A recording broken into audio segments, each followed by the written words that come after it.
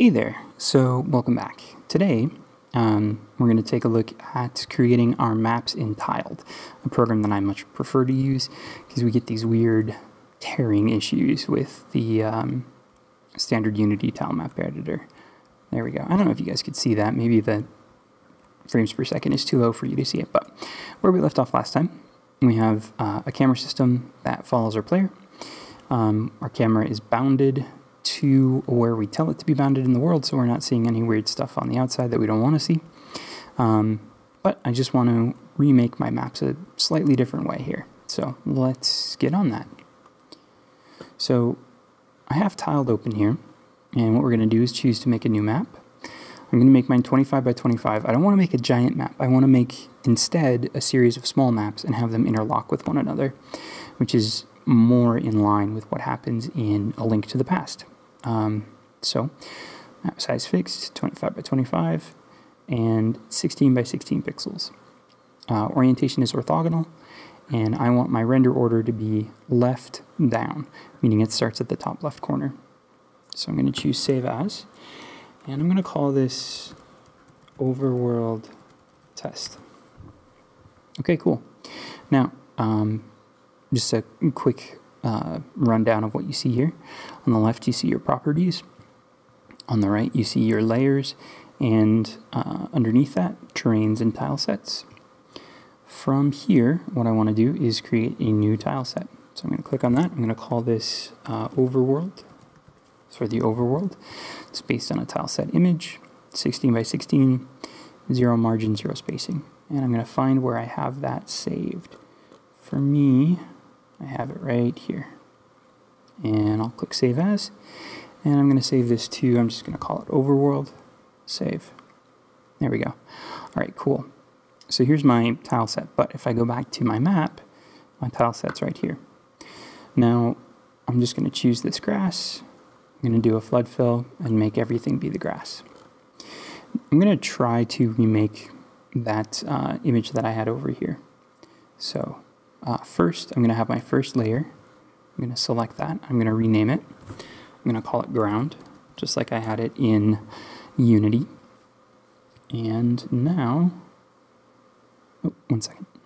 Okay, so now I'm going to create my path through here, but I'm going to do it using a um, terrain. And to create a terrain in Tiled, first thing I'm going to do is I'm going to choose Edit My Tile Set, and that'll open your tile set in a new tab. From here, uh, I'm going to choose the terrain option on the toolbar. It's going to bring up the terrain pane over here. I'm going to click plus to make a new one, and I'm going to call this path. Now, I need to define what the rules of this terrain are.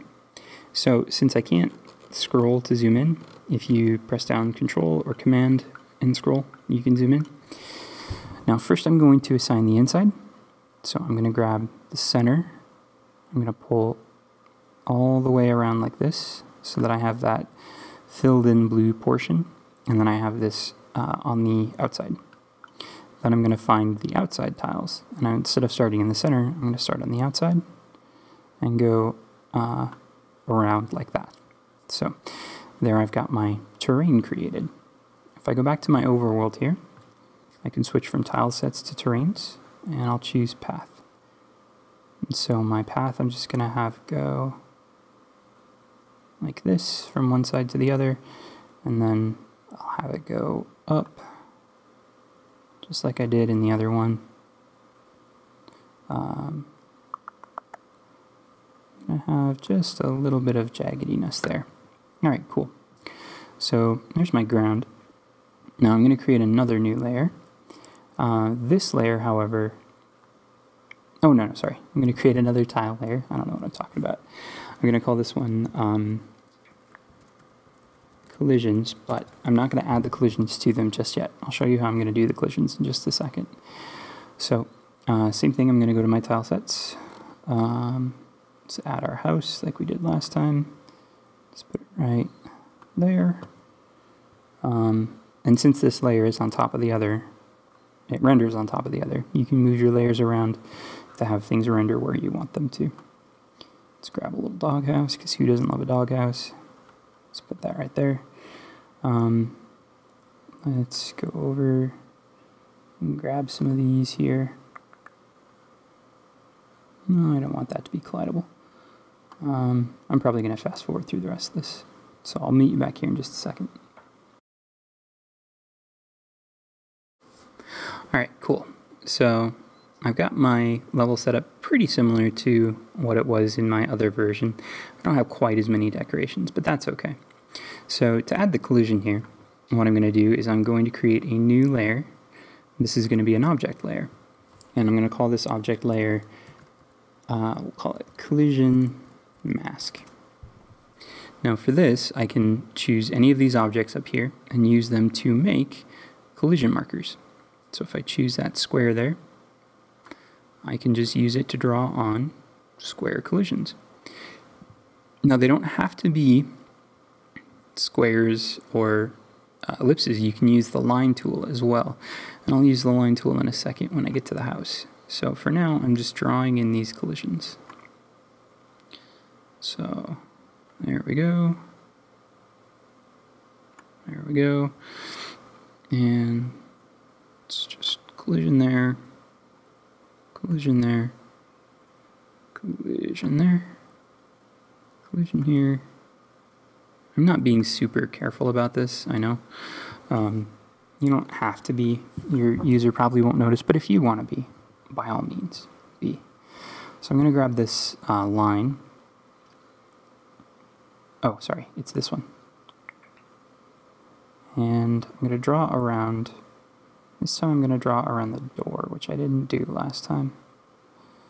For specific reasons. Not specific reasons I didn't do it last time, but specific reasons I'm doing it this time. So, just drawing around here. And then when you're done, hit enter, and it finalizes it. So if I zoom back out, I can easily see where all my collisions are.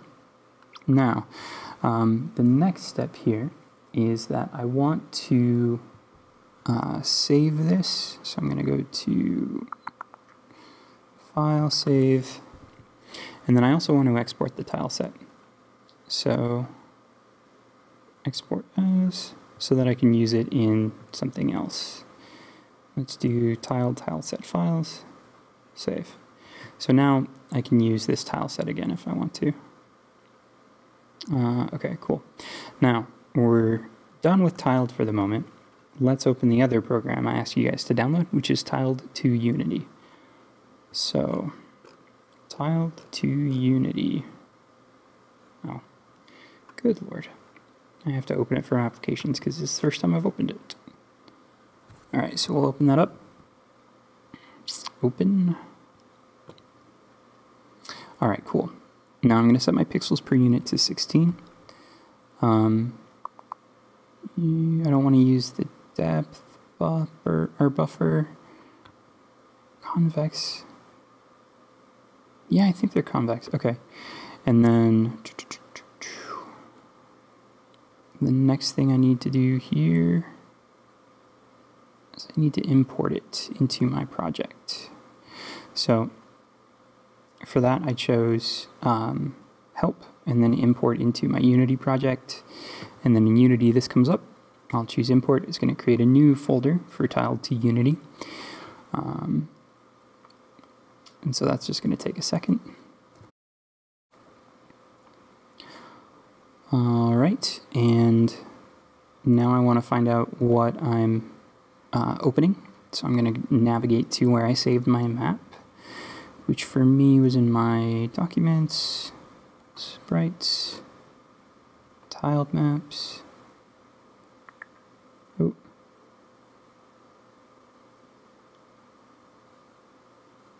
Oh, that's right. Do it. Open tiled file. Good lord. And I want to open overworld test. Alright, cool and now I want to export it. So I'm going to choose export to, and now I need to navigate to where my project is. So my Unity projects and YouTube Zelda like and assets and tile to Unity and tile to Unity export.txt. It just essentially gives it a, um, a target so now I want to preview my map just to make sure it's what I want it to be. I can see all my collisions on there. And press the, oops. Oh, did it already export? Holy cow, that was fast. The big ass export button. Now if I go back into Unity here, let's go and import the assets. I'm going to turn off my grid really quickly here. I'm going to go to Tile to Unity, uh, select my prefabs, my overworld test, drag that into my world. Holy cow, it's gigantic. Um, what happened was, is it's treating uh, every pixel as if it's a unity unit, even though I thought I set that correctly. So I'm going to set my scale to be 0.0625 by 0.0625. If you didn't know, 0.0625 is 1 16th as a decimal. And there's my player right there. And I'm going to put my camera on him. And I would need to reset my min and max values, but I just want to test to make sure everything works the way it should. So let's hit play. Uh, okay, so moving around, my min values and max values of course are off. I can move around now though, and I'm colliding with everything just fine. And this looks significantly better, I think, than the um, the Unity tile map version does. So yeah, I'm going to be using tiled for the rest of my maps. Um, yeah, so if you have any questions, feel free to ask them in the description down below. Um, otherwise, you can follow me on Twitter to find out when I post new videos. You can join my Discord where I'm chatting pretty much every day. And yeah, next time we're going to talk about room transitions. So transitioning between one room to the other.